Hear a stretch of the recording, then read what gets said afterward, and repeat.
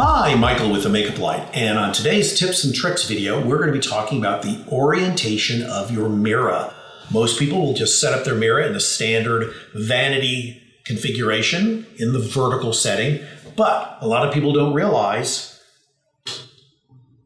you can make it horizontal and it changes everything. Give it a try and tell us what you think in the comments.